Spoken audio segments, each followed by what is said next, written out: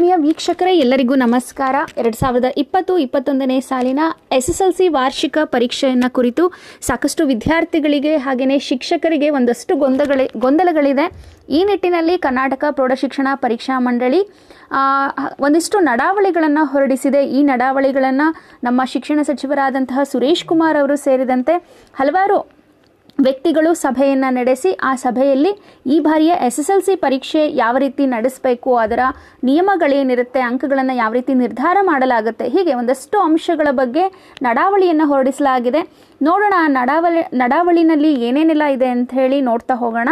ಹಾಗೆಯೇ ಈ ವಿಡಿಯೋವನ್ನು ನೀವು ನೋಡೋದ್ರಿಂದ ನಿಮಗೆ ಎಸ್ ಎಸ್ ಎಲ್ ಸಿ ಪರೀಕ್ಷೆ ಬಗ್ಗೆ ಯಾವ್ಯಾವ ಪ್ರಶ್ನೆಗಳಿದೆ, ಯಾವ್ಯಾವ ಗೊಂದಲಗಳಿದೆ, ಆ ಎಲ್ಲ ಗೊಂದಲಗಳು ಕೂಡ ಕ್ಲಿಯರ್ ಆಗುತ್ತೆ ಆದಷ್ಟು ಅಂತ ಹೇಳಿ ನಾನು ಹೇಳ್ಬೋದು.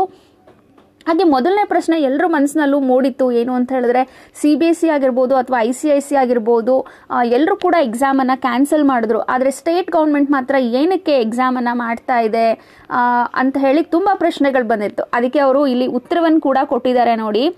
ಏನಂತ ಹೇಳಿದ್ದಾರೆ ಅವರು ಅಂತ ಹೇಳಿದ್ರೆ, ಇಷ್ಟು ವರ್ಷ ಎಸ್ ಎಸ್ ಎಲ್ ಸಿ ಪರೀಕ್ಷೆಯನ್ನು ಆರು ವಿಷಯಗಳಿಗೆ ಆರು ದಿನ ನಡೆಸಲಾಗ್ತಾ ಇತ್ತು. ಆದರೆ ಈ ವರ್ಷ ಏನಾಗಿದೆ ಕೋವಿಡ್ ಹತ್ತೊಂಬತ್ತರ ಎರಡನೇ ಅಲೆ ವ್ಯಾಪಿಸಿರ್ತಕ್ಕಂಥ ಹಿನ್ನೆ- ಹಿನ್ನೆಲೆಯಲ್ಲಿ ಸಿ ಬಿ ಎಸ್ ಸಿ ಮತ್ತು ಐ ಸಿ ಎಸ್ ಸಿ ಬಹುತೇಕ ರಾಜ್ಯಗಳಲ್ಲಿ ಎಕ್ಸಾಮನ್ನು ಎಸ್ ಎಸ್ ಎಲ್ ಸಿ ಎಕ್ಸಾಮನ್ನು ಕ್ಯಾನ್ಸಲ್ ಮಾಡಿದ್ರು. ಆದರೆ ನಮ್ಮ ಕರ್ನಾಟಕದಲ್ಲಿ ಅದು ಆಗಲಿಲ್ಲ. ಯಾಕೆ ಅಂತ ಹೇಳಿದ್ರೆ, ಈಗ ಸಿ ಬಿ ಎಸ್ ಸಿ ಮತ್ತು ಐ ಸಿ ಎಸ್ ಸಿ ಪಠ್ಯಕ್ರಮದಲ್ಲಿ ಯಾವೆಲ್ಲ ವಿದ್ಯಾರ್ಥಿಗಳು ಓದ್ತಾ ಇದ್ರಲ್ವಾ, ಅವ್ರಿಗೆ ಮುಂಚೆಯಿಂದನೂ ಆನ್ಲೈನಲ್ಲಿ ತರಗತಿಗಳು ನಡೀತಾ ಇತ್ತು. ಹಾಗೆಯೇ ಅವರಿಗೆ ಆನ್ಲೈನಲ್ಲೇ ಕಿರುಪರೀಕ್ಷೆಗಳಾಗಿರ್ಬೋದು, ಅಥವಾ ಮಿಡ್ ಟರ್ಮ್ ಎಕ್ಸಾಮ್ಗಳಾಗಿರ್ಬೋದು ಹಾಗೆಯೇ ಪೂರ್ವ ಸಿದ್ಧತಾ ಪರೀಕ್ಷೆಗಳಾಗಿರ್ಬೋದು ಇದೆಲ್ಲ ನಡೆದಿತ್ತು.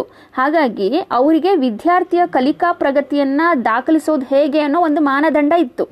ಆದರೆ ನಮ್ಮ ರಾಜ್ಯದಲ್ಲಿ ಏನಾಗಿತ್ತು ಅಂತ ಹೇಳಿದ್ರೆ ಹತ್ತನೇ ತರಗತಿ ವಿದ್ಯಾರ್ಥಿಗಳಿಗೆ ಆನ್ಲೈನ್ ತರಗತಿಗಳು ಮತ್ತು ವಿದ್ಯಾಗಮ, ಸಂವೇದ ಇತ್ಯಾದಿಗಳ ಮೂಲಕ ತರಗತಿಗಳು ನಡೀತಾ ಇದ್ದರೂ ಕೂಡ ಜನ್ವರಿ ಎರಡು ಸಾವಿರದ ಇಪ್ಪತ್ತೊಂದರಿಂದ ಶಾಲಾ ತರಗತಿಗಳಲ್ಲಿ ನೇರವಾಗಿ ಬೋಧನೆ ಮಾಡಲಾಗಿತ್ತು. ಅಂದರೆ ಭೌತಿಕ ತರಗತಿಗಳು ನಡೆದಿತ್ತು. ಆದರೆ ಇಲ್ಲಿ ಒಂದು ನಿಯಮ ಇತ್ತು, ಏನಪ್ಪ ಅಂತ ಹೇಳಿದ್ರೆ ಹಾಜರಾತಿ ಅನ್ನೋದೇನು ಕಡ್ಡಾಯ ಇಲ್ಲ ಅಂತ ಹೇಳಿ ಹೇಳಲಾಗಿತ್ತು. ಹಾಗಾಗಿ ಸಾಕಷ್ಟು ವಿದ್ಯಾರ್ಥಿಗಳು ಶಾಲೆಗೆ ಈ ಸಮಯದಲ್ಲಿ ಬಂದಿರಲ್ಲ. ಹಾಗಾಗಿ ಈ ರೀತಿ ಇದ್ದಾಗ ಏನಾಗುತ್ತೆ? ವಿದ್ಯಾರ್ಥಿಗಳನ್ನು ಮೌಲ್ಯಾಂಕನಕ್ಕೆ ಒಳಪಡಿಸುವುದು ಕಷ್ಟ ಆಗುತ್ತೆ. ಅಲ್ಲದೆ ನಮ್ಮ ಸ್ಟೇಟ್ನಲ್ಲಿ ಇರ್ತಕ್ಕಂತಹ ಮಕ್ಕಳಿಗೆ ನಾವು ನೀಟಾಗಿ ಘಟಕ ಪರೀಕ್ಷೆಯನ್ನಾಗಲಿ ಅಥವಾ ಸಂಕಲನಾತ್ಮಕ ಪರೀಕ್ಷೆಯನ್ನಾಗಲಿ, ಹಾಗೆ ಪೂರ್ವ ಸಿದ್ಧತಾ ಪರೀಕ್ಷೆಯನ್ನಾಗಲಿ ನಾವು ಮಾಡಿರಲ್ಲ. ಕೆಲವು ಕಡೆ ಖಾಸಗಿ ಶಾಲೆಗಳಲ್ಲಿ ಮಾಡಿರ್ತಾರೆ ಅನ್ನೋದು ಬಿಟ್ಟರೆ ಈ ರೀತಿಯ ಪರೀಕ್ಷೆಗಳನ್ನು ನಾವು ಮಾಡಿಲ್ಲ. ಇದರಿಂದ ಕಲಿಕೆಯ ಪ್ರಗತಿ ಹೇಗಿದೆ ವಿದ್ಯಾರ್ಥಿ ಅನ್ನೋದು ದಾಖಲಾಗಿರಲ್ಲ. ಈ ಹಿನ್ನೆಲೆಯಲ್ಲಿ C B S C I C S C ಅವರು ಪರೀಕ್ಷೆಯನ್ನು ರದ್ದು ಮಾಡಿದ್ದಾರೆ ನಾವು ಕೂಡ ರದ್ದು ಮಾಡೋಣ ಅಂದರೆ ಅದು ಕಷ್ಟ ಸಾಧ್ಯ ಆಗುತ್ತೆ. ಹಾಗಾಗಿ ಏನು ಮಾಡಿದ್ದಾರೆ ಈ ವರ್ಷ ಅಂತ ಹೇಳಿದ್ರೆ ಎಲ್ಲ ವಿದ್ಯಾರ್ಥಿಗಳಿಗೆ ಮುಂದಿನ ಭವಿಷ್ಯಕ್ಕೆ ಒಳ್ಳೆಯದಾಗಲಿ ಅನ್ನೋ ಒಂದು ಉದ್ದೇಶದಿಂದ ಎಸ್ ಎಸ್ ಎಲ್ ಸಿ ಅನ್ನೋದು ಒಂದು ಟರ್ನಿಂಗ್ ಪಾಯಿಂಟ್ ಅಂತ ಹೇಳಿ ಎಕ್ಸಾಮ್ ಮಾಡ್ತಿರೋ ಮೇನ್ ಉದ್ದೇಶ ಅಂತಂದರೆ ಇದು. ಹಾಗೆಯೇ ಈ ಕೋವಿಡ್ ಹತ್ತೊಂಬತ್ತರ ಹಿನ್ನೆಲೆಯಲ್ಲಿ ಪ್ರಸ್ತುತ ವರ್ಷದಲ್ಲಿ ಏನಾಗಿದೆ ಅಂತ ಹೇಳಿದ್ರೆ, ಪೂರ್ಣ ಪ್ರಮಾಣದಲ್ಲಿ ಖಾಸಗಿ ಮತ್ತು ಪುನರಾವರ್ತಿತ ಅಭ್ಯರ್ಥಿಗಳಿಗೆ ಕಲಿಕೆಗಾಗಿ, ಖಾಸಗಿ ಅಂತ ಹೇಳಿದ್ರೆ ಯಾರ್ಯಾರು ಪ್ರೈವೇಟ್ ಸ್ಟೂಡೆಂಟ್ಸ್ ಇದ್ರಿ ಹಾಗೆಯೇ ರಿಪೀಟರ್ಸ್ ಯಾರ್ಯಾರು ಇದ್ರಲ್ವಾ, ನಿಮಗೆ ಕಲಿಕೆಗೆ ಸ್ವಲ್ಪ ಕಷ್ಟ ಆಗಿದೆ. ಅಂದರೆ ನಿಮಗೆ ಟ್ಯೂಷನ್ಸ್ ಇರಲಿಲ್ಲ, ಅಥವಾ ನಿಮಗೆ ಹೇಳ್ಕೊಡೋರು ಯಾರೂ ಇಲ್ಲ, ಈ ರೀತಿ ಒಂದಷ್ಟು ಅಂಶಗಳು ಕಂಡು ಬಂದಿದೆ. ಹಾಗಾಗಿ ನಿಮ್ಮಲ್ಲೂ, ನಿಮ್ಮನ್ನು ಕೂಡ ಗಣನೆಗೆ ತೆಗೆದುಕೊಂಡು ಒಂದಷ್ಟು ನಡಾವಳಿಗಳನ್ನು ಇಲ್ಲಿ ಹೊರಡಿಸಲಾಗಿದೆ. ಅದೇನು ಅಂತ ಹೇಳಿ ನೋಡ್ತಾ ಹೋಗೋಣ. ಅದಕ್ಕಿಂತ ಮುಂಚೆ ಇಲ್ಲಿ ಒಂದು ವಿಷಯವನ್ನ ಹೇಳ್ತಾ ಇದ್ದಾರೆ ಈ ಬಾರಿ ಕೋವಿಡ್ ಹತ್ತೊಂಬತ್ತರ ಪರಿಸ್ಥಿತಿನಲ್ಲಿ ಆರು ವಿಷಯಗಳಿಗೆ ಪರೀಕ್ಷೆಯನ್ನ ಅಕಸ್ಮಾತ್ ಏನಾದರೂ ನಡೆಸಿದ್ರೆ ಸಾಕಷ್ಟು ಲಕ್ಷಾಂತರ ವಿದ್ಯಾರ್ಥಿಗಳು ಎಸ್ ಎಲ್ ಸಿ ಪರೀಕ್ಷೆಯನ್ನ ಬರೀತಿದ್ದಾರೆ. ಹಾಗಾಗಿ ಎಲ್ಲ ವಿದ್ಯಾರ್ಥಿಗಳು ಆರು ದಿನ ಬಂದು ಪರೀಕ್ಷೆಯನ್ನ ಬರೆಯೋದು ಕಷ್ಟ ಆಗುತ್ತೆ. ಅನ್ನೋ ಉದ್ದೇಶದಿಂದ. ಹಾಗೆಯೇ ಮುಂದಿನ ಉನ್ನತ ಶಿಕ್ಷಣದ ವ್ಯಾಸಂಗಕ್ಕೆ ಎಸ್ ಎಸ್ ಎಲ್ ಸಿ ಪರೀಕ್ಷೆ ತುಂಬಾ ಮುಖ್ಯವಾಗಿರುತ್ತೆ ಅನ್ನೋ ಉದ್ದೇಶದಿಂದ ಸರ್ಕಾರ ಏನು ಮಾಡಿದೆ ಅಂತ ಹೇಳಿದ್ರೆ ಒಂದಷ್ಟು ಸುರಕ್ಷತಾ ಕ್ರಮಗಳನ್ನು ತೆಗೆದುಕೊಂಡು ಶೈಕ್ಷಣಿಕ ಹಿತದೃಷ್ಟಿಯಿಂದ ಮಕ್ಕಳಿಗೆ ಯಾವುದೇ ರೀತಿಯಾದಂತಹ ತೊಂದರೆ ಆಗಬಾರ್ದು ಅಂಥೇಳಿ ನಿರ್ಧಾರವನ್ನು ಮಾಡಿ ಈ ಬಾರಿಯ ಎರಡು ಸಾವಿರದ ಇಪ್ಪತ್ತೊಂದು, ಇಪ್ಪತ್ತು ಇಪ್ಪತ್ತೊಂದನೇ ಸಾಲಿನ ಎಸ್ ಎಸ್ ಎಲ್ ಸಿ ಪರೀಕ್ಷೆಯ ವಿಧಾನವನ್ನು ಸ್ವಲ್ಪ ಸರಳೀಕರಿಸಿ ಕೇವಲ ಎರಡು ದಿನ ಪರೀಕ್ಷೆಯನ್ನು ಮಾಡಬೇಕು ಅಂತೇಳಿ ನಿರ್ಧಾರವನ್ನು ಮಾಡಲಾಗಿದೆ. ನಿಮಗೆಲ್ಲ ಗೊತ್ತಿರೋ ಹಾಗೆ ಒಂದಿನ ಕೋರ್ ವಿಷಯಗಳು ನಡೆಯುತ್ತೆ ಹಾಗೆ ಇನ್ನೊಂದು ದಿನ ನಿಮ್ಮ ಭಾಷಾ ವಿಷಯಗಳೇನಿದೆಯಲ್ಲ, ಆ ವಿಷಯದ ಸಲುವಾಗಿ ಪರೀಕ್ಷೆಗಳು ನಡೆಯುತ್ತೆ. ಇದೆಲ್ಲ ನಿಮ್ಗಾಗ್ಲೇ ಗೊತ್ತಿರ್ತಕ್ಕಂಥ ವಿಷಯ. ಇನ್ನು ಪ್ರಶ್ನೆ ಪತ್ರಿಕೆ ಯಾವ ರೀತಿ ತಯಾರಾಗುತ್ತೆ, ಇದು ಕೂಡ ನಿಮಗೆ ಗೊತ್ತು. ಎಂ ಸಿ ಕ್ಯೂ ಮಾದರಿಯಲ್ಲಿ ಪ್ರಶ್ನೆ ಪತ್ರಿಕೆ ಇರುತ್ತೆ. ಹಾಗೆ ಪ್ರತಿಯೊಂದು ವಿಷಯಕ್ಕೆ ನಲವತ್ತು ಅಂಕಗಳಿರುತ್ತೆ. ಮೂರು ಕೋರ್ ವಿಷಯಗಳಿಗೆ ನೂರ ಇಪ್ಪತ್ತು ಅಂಕಗಳ ಒಂದು ಪ್ರಶ್ನೆ ಪತ್ರಿಕೆ, ಒಂದು ಬುಕ್ಲೆಟ್ ಥರ ಒಂದು ಪ್ರಶ್ನೆ ಪತ್ರಿಕೆ ಇದ್ದರೆ ಇನ್ನೊಂದು ನಾವೇನು ಲಾಂಗ್ವೇಜನ್ನು ಬರಿತೀವಲ್ವ, ಅಲ್ಲಿ ಮೂರು ಲಾಂಗ್ವೇಜನ್ನು ಸೇರಿ ಒಂದು ಬುಕ್ಲೆಟ್ ಇರುತ್ತೆ. ಹಾಗೆಯೇ ಪ್ರತಿಯೊಂದು ದಿನ ಕೂಡ ಒಂದು ಮೂರು ವಿಷಯಗಳ ಪರೀಕ್ಷೆ ಮುಗಿಯೋದಕ್ಕೆ ನಿಮಗೆ ಮೂರು ಗಂಟೆಗಳ ಅವಕಾಶ ಇರುತ್ತೆ. ಅಂದರೆ ಈಗ ಹತ್ತುವರೆಗೆ ಪರೀಕ್ಷೆ ಸ್ಟಾರ್ಟ್ ಆಯಿತು ಅಂದರೆ ಹತ್ತುವರೆಯಿಂದ ಒಂದೂವರೆ ತನಕ ನಮಗೆ ಪರೀಕ್ಷೆಯನ್ನು ಬರೆಯೋದಕ್ಕೆ ಅವಕಾಶ ಇರುತ್ತೆ. ಇದು ಪ್ರಶ್ನೆ ಪತ್ರೆ, ಪತ್ರಿಕೆ ಬಗ್ಗೆ ಇರ್ತಕ್ಕಂತಹ ಮಾಹಿತಿ. ಇದ್ರ ಬಗ್ಗೆ ನಿಮಗೆ ಯಾವುದೇ ಅನುಮಾನ ಇಲ್ಲ. ಹಾಗೆ ಇನ್ನೊಂದು ವಿಷಯ ನೀವು ಮುಖ್ಯವಾಗಿ ಗಮನಿಸಬೇಕು ಏನು ಅಂತ ಹೇಳಿದ್ರೆ ಕೋರ್ ಮತ್ತು ಭಾಷಾ ವಿಷಯಗಳ ಪರೀಕ್ಷೆಗಳ ನಡುವೆ ಅಂತರವನ್ನು ನೀಡಲಾಗುವುದು. ಅಂದರೆ ಕಂಟಿನ್ಯೂಸ್ ಆಗಿರಲ್ಲ. ಇವತ್ತು ಲಾಂಗ್ವೇಜಸ್ ಇತ್ತು ಹಾಗೆಯೇ ನಾಳೆ ಕೋರ್ ವಿಷಯಗಳ ಪರೀಕ್ಷೆ ಈ ರೀತಿ ಇರಲ್ಲ. ಸಪೋಸ್ ಇವತ್ತೇನಾದರೂ ಲಾಂಗ್ವೇಜಸ್ ಎಕ್ಸಾಮ್ ಇತ್ತು ನಿಮಗೆ ಮಂಡೇ ಇವತ್ತು. ಮಂಡೇ ನಿಮಗೆ ಲಾಂಗ್ವೇಜಸ್ ಎಕ್ಸಾಮ್ ಇತ್ತು ಅಂತಂದರೆ ಒಂದು ಟೂ ಡೇಸ್ ಬಿಟ್ಕೊಂಡು ಕೋರ್ ಎಕ್ಸಾಮ್ಸ್ ಕೋರ್ ಸಬ್ಜೆಕ್ಟ್ ಎಕ್ಸಾಮನ್ನು ಮಾಡ್ಬೋದು. ಹಾಗೆ ಕಂಟಿನ್ಯೂಸ್ ಆಗಿ ಮಾಡಲ್ಲ ಅನ್ನೋದು ಕೂಡ ಅವರು ಸ್ಪಷ್ಟವಾಗಿ ಹೇಳಿದ್ದಾರೆ. ಹಾಗೆ ಇನ್ನೊಂದು ವಿಷಯವನ್ನು ಗಮನಿಸಿ, ಇಲ್ಲಿ C C R F C C P F ಅಂದರೆ ರಿಪೀಟರ್ಸ್ ಇರ್ಬೋದು ಹಾಗೆಯೇ ಪ್ರೈವೇಟ್ ಫ್ರೆಷರ್ಸ್ ಇರ್ಬೋದು, ಅಥವಾ ರೆಗ್ಯುಲರ್ ರಿಪೀಟರ್ಸ್ ಇರ್ಬೋದು, ಎಲ್ಲ ವಿದ್ಯಾರ್ಥಿಗಳಿಗೂ ಕೂಡ ಈ ನಿಯಮ ಅನ್ವಯ ಆಗುತ್ತೆ. ಬರೀ ಈ ಬಾರಿಯ ಎಸ್ ಎಸ್ ಎಲ್ ಸಿ ವಿದ್ಯಾರ್ಥಿಗಳಷ್ಟೇ ಅಲ್ಲ, ಖಾಸಗಿ ಅಭ್ಯರ್ಥಿಗಳಾಗಿರ್ಬೋದು ಅಥವಾ ಪುನರಾವರ್ತಿತ ಅಭ್ಯರ್ಥಿಗಳಾಗಿರ್ಬೋದು ನಿಮ್ಮೆಲ್ಲರಿಗೂ ಕೂಡ ಈ ನಿಯಮ ಅನ್ವಯವಾಗುತ್ತೆ ಅಂತೇಳಿ ಹೇಳ್ತಾ ಇದ್ದಾರೆ. ಹಾಗೆಯೇ ನಿಮ್ಮ ಪರೀಕ್ಷೆಗಳನ್ನು ಏನು ಅಂತ ಹೇಳಿದ್ರೆ ಎಂಬತ್ತು ಅಂಕಗಳಿಗಿರುತ್ತೆ ಸಾಮಾನ್ಯವಾಗಿ ನಿಮಗೆ. ಅಂದರೆ ನಲವತ್ತು ಅಂಕಗಳಿಗೆ ಪರೀಕ್ಷೆಯನ್ನು ಮಾಡಿ ಆಮೇಲೆ ಅದನ್ನು ಏನು ಮಾಡ್ತಾರೆ? ಡಬಲ್ ಮಾಡಿಕೊಂಡು ಮಾರ್ಕ್ಸನ್ನು ಕೊಡ್ತೀವಿ ಅಂತೇಳಿ ಹೇಳ್ತಾರೆ. ಹಾಗೆ ಪ್ರಶ್ನೆ ಪತ್ರಿಕೆಯನ್ನು ಕೂಡ ರಾಜ್ಯದ ಜಿಲ್ಲಾ ಖಜಾನೆಯಲ್ಲಿ ಸಂರಕ್ಷಿಸ್ತೀವಿ. ಯಾವುದೇ ರೀತಿಯ ತೊಂದರೆಗಳಾಗದಂತೆ ಅಂತ ಕೂಡ ಇಲ್ಲಿ ಹೇಳಿದ್ದಾರೆ.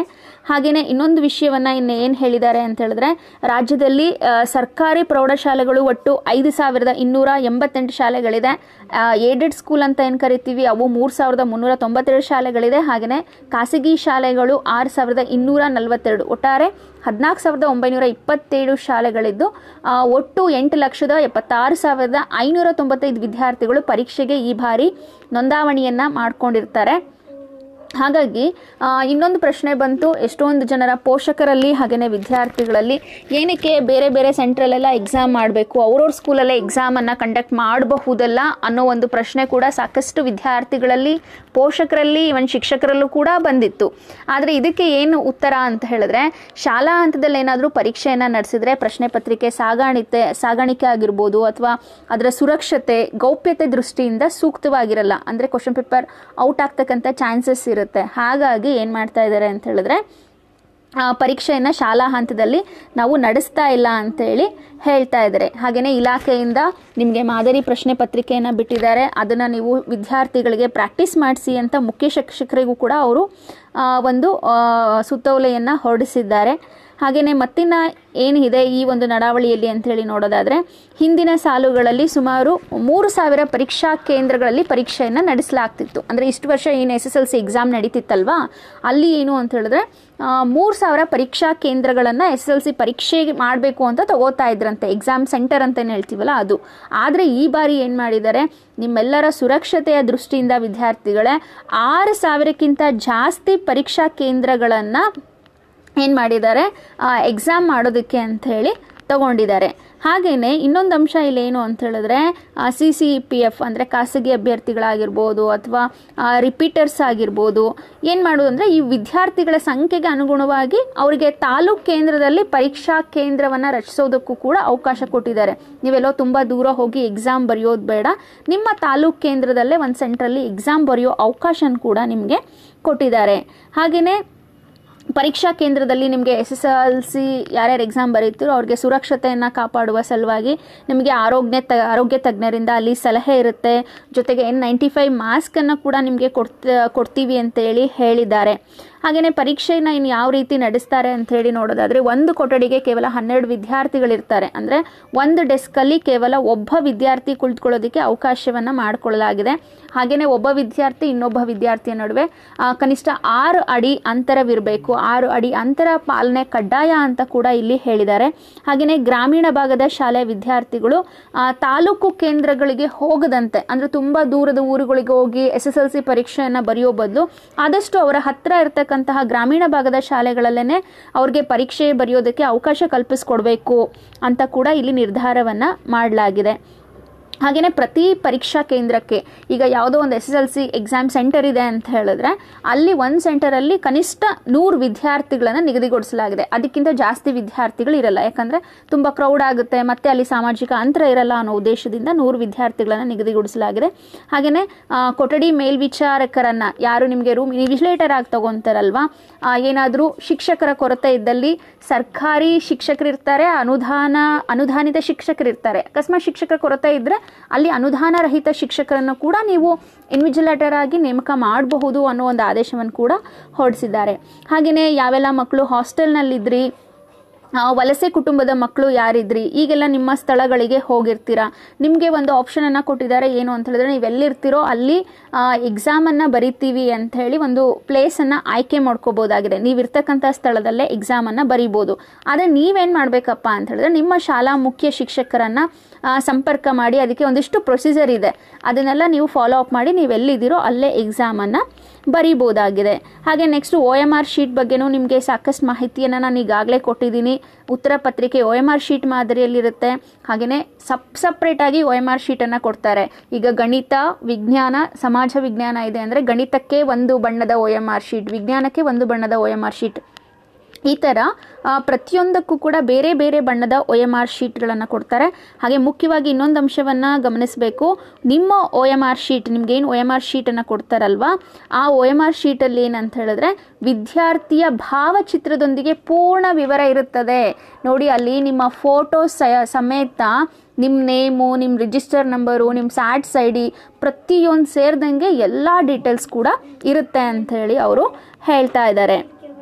ಹಾಗೆಯೇ ಪರೀಕ್ಷೆ ಮುಗಿದ ನಂತರ ಏನು ಮಾಡಬೇಕು? ಪರೀಕ್ಷಾ ಕೇಂದ್ರದಿಂದ ಒ ಎಂ ಆರ್ ಶೀಟ್ ಬಂಡಲ್ಗಳನ್ನು ಸಂಬಂಧಿಸಿದ ಶಿಕ್ಷ, ಕ್ಷೇತ್ರ ಶಿಕ್ಷಣಾಧಿಕಾರಿಗಳು ಪಡೆದು ಅಂದೇ ಜಿಲ್ಲಾ ಕೇಂದ್ರದಲ್ಲಿ ಸ್ಟ್ರಾಂಗ್ ರೂಮ್ಗೆ ರವಾನಿಸೋದು ಅಂತೇಳಿ ಹೇಳ್ತಾ ಇದ್ದಾರೆ. ನಿಮಗೆ ವಿದ್ಯಾರ್ಥಿಗಳಿಗೆ ಈ ಒಂದು ಸಾಲೇನು ಅವಶ್ಯಕತೆ ಇಲ್ಲ ಅಂತೇಳಿ ಅನ್ಕೋತೀನಿ.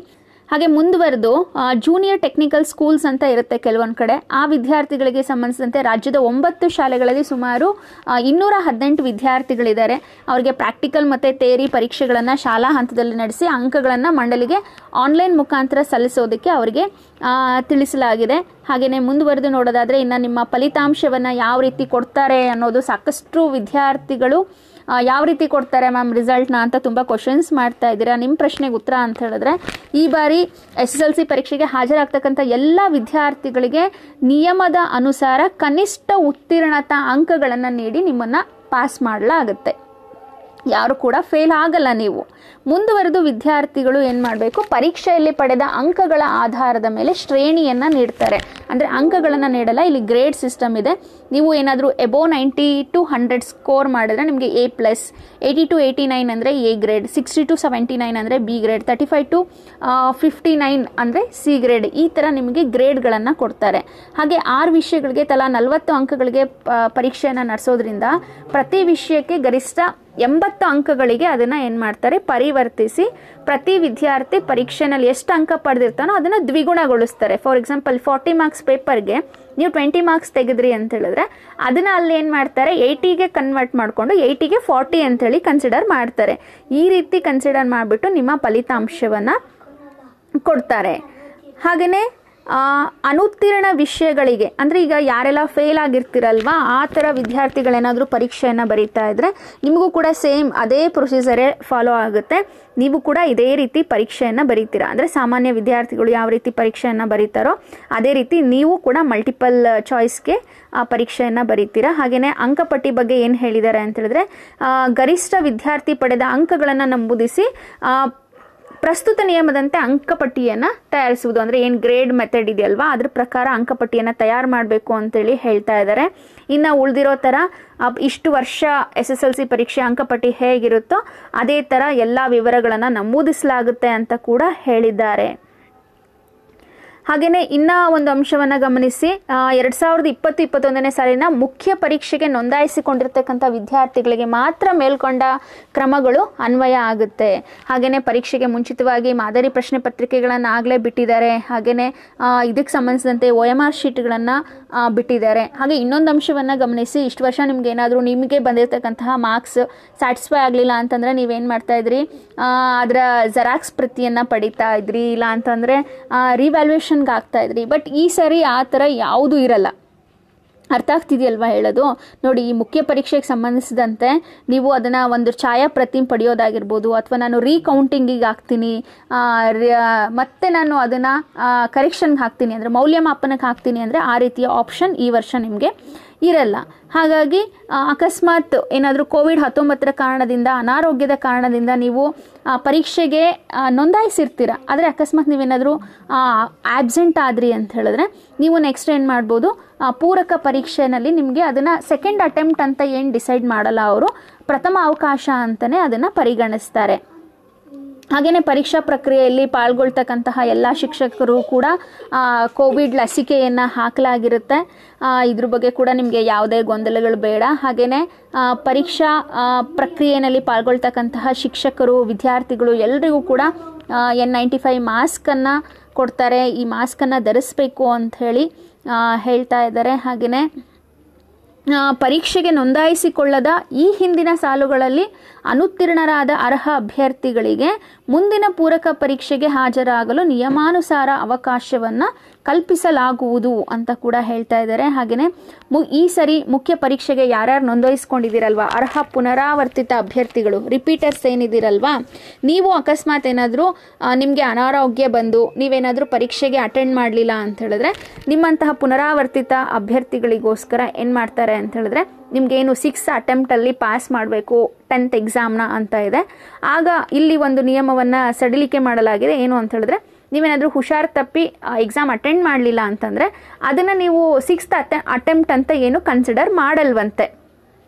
ಅರ್ಥ ಆಗ್ತಿಲ್ವಾ? ಹಾಗ, ಅರ್ಥ ಆಗ್ತಿದೆಯಲ್ವಾ? ಅಂದರೆ ಆ ಒಂದು ನಿಮ್ಮ ಪ್ರಯತ್ನವನ್ನು ಕೈ ಬಿಡಲಾಗೋದು ಅಂತೇಳಿ ಇಲ್ಲಿ ಹೇಳ್ತಾ ಇದ್ದಾರೆ ಇದಿಷ್ಟು ಎಸ್ ಎಸ್ ಎಲ್ ಸಿ ಪರೀಕ್ಷೆಗೆ ಸಂಬಂಧಿಸಿದಂತೆ ಇರ್ತಕ್ಕಂತಹ ಪ್ರಮುಖ ಮಾಹಿತಿ ಅಂತಲೇ ಹೇಳ್ಬೋದು. ಈ ವಿಡಿಯೋಯಿಂದ ಸಾಕಷ್ಟು ವಿದ್ಯಾರ್ಥಿಗಳ ಶಿಕ್ಷಕರ ಗೊಂದಲಗಳು ಕ್ಲಿಯರ್ ಆಗಿದೆ ಅಂತೇಳಿ ಹೇಳ್ಬೋದಾಗಿದೆ. ನನಗೂ ಕೂಡ ಸಾಕಷ್ಟು ಗೊಂದಲಗಳು ಇತ್ತು. ಈಗ ನನಗೂ ಕೂಡ ಸಾಕಷ್ಟು ಗೊಂದಲಗಳು ಕ್ಲಿಯರ್ ಆಗಿದೆ. ಈಗ ಒಂದು ಕ್ಲಾರಿಟಿಗೆ ಬಂದಿದ್ದೀನಿ ಅಂತೇಳಿ ಹೇಳ್ತಾ ಎಲ್ಲರೂ ಕೂಡ ಈ ವಿಡಿಯೋವನ್ನು ನೋಡಿದ್ದಕ್ಕೆ ಥ್ಯಾಂಕ್ಸ್ ಹಾಗೆಯೇ ಶೇರ್ ಮಾಡಿ, ಬೇರೆಯವ್ರಿಗೂ ಕೂಡ ಈ ಮಾಹಿತಿ ಗೊತ್ತಾಗಲಿ. Thank you